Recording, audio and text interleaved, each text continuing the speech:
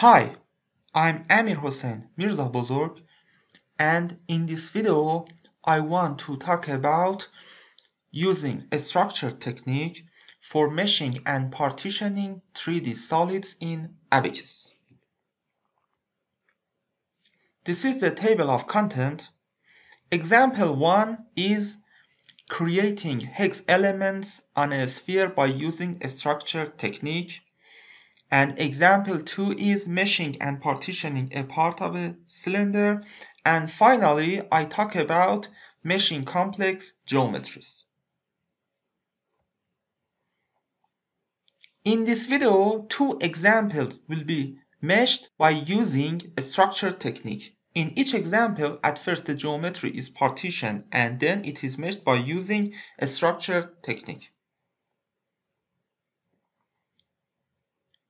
First example is creating hex elements on a sphere by using a structure technique. At first, I will create the sphere in the part module. Its radius is equal to 1. I create the sphere and then I use three datum planes for partitioning it and then I will create hex elements on the geometry by using a structure technique. I go to Abaqus CAE to do these steps. I create a new part.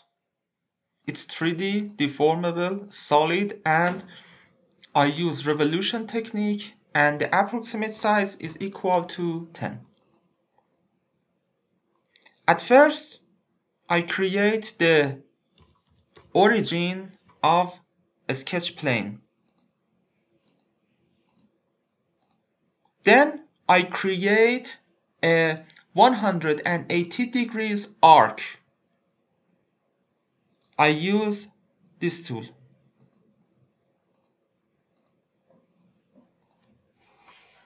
And I create two straight lines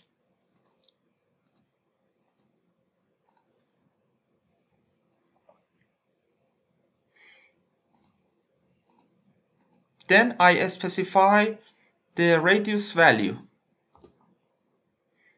Now the sketch is completed and the revolution angle is 360 degrees. Now the complete sphere is created. I go to mesh module. I must create three datum planes and each datum plane is parallel to one of the xy, yz and xz planes. For doing this, I use this tool, create datum plane offset from principal plane. Offset is 0.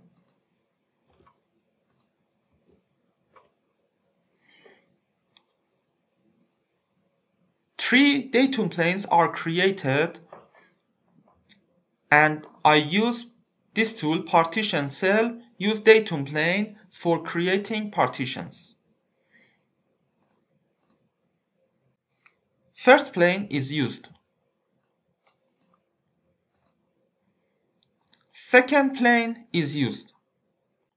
After creating the second partition, still the color of the sphere is not changed. And finally, I create the third partition. After creating the third partition, the color of all of the regions is changed to green. So I can use a structure technique for meshing the part.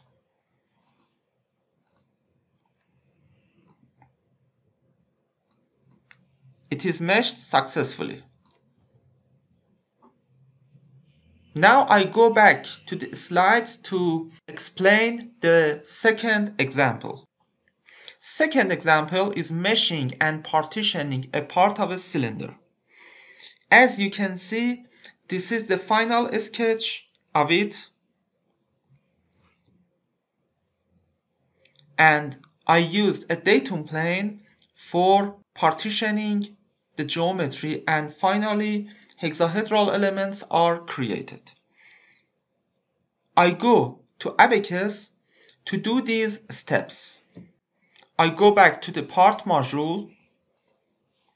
I create a new part. It's 3D, deformable, solid, and I will use extrusion technique and approximate size is equal to 200.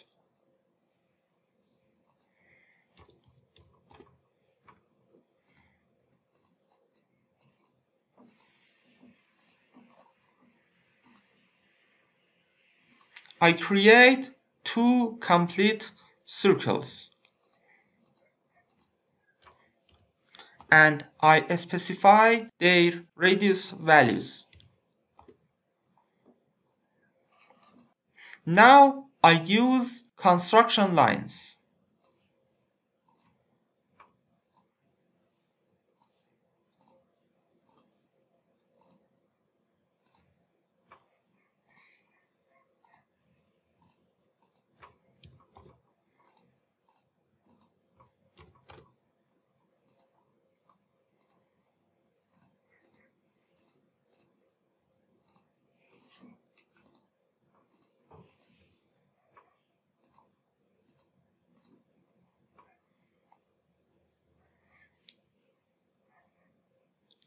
The sketch is completed.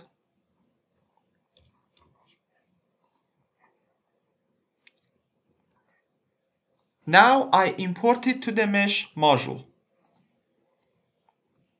At first its color is yellow. That means we can mesh it by using the sweep technique and there is no problem. But I want to use a structured technique. So I must partition this part.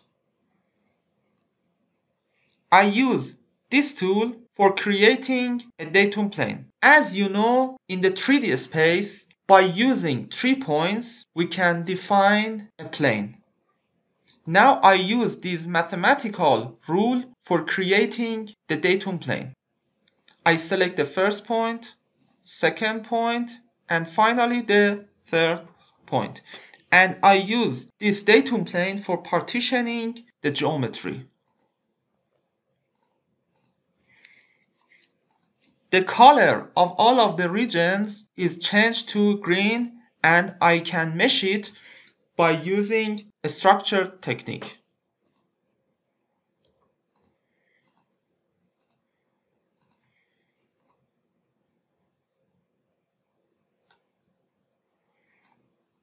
Now I go back to the slides. Now I want to talk about meshing complex geometries. As you have seen in these examples, after creating partitions, the color of some regions have been changed.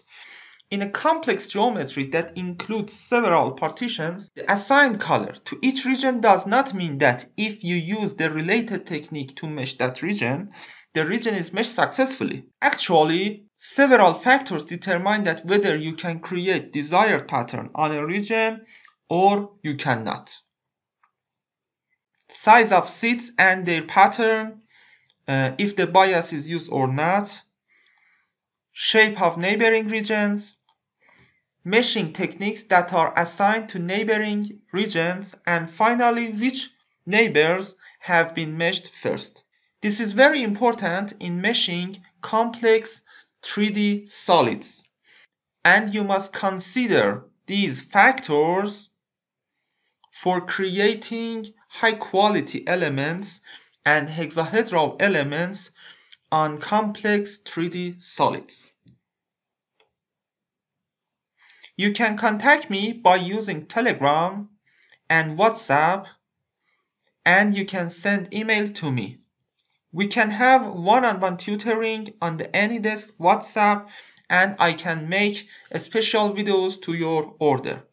We can perform high quality simulations for your thesis exercises and industrial projects. Thank you so much. Goodbye.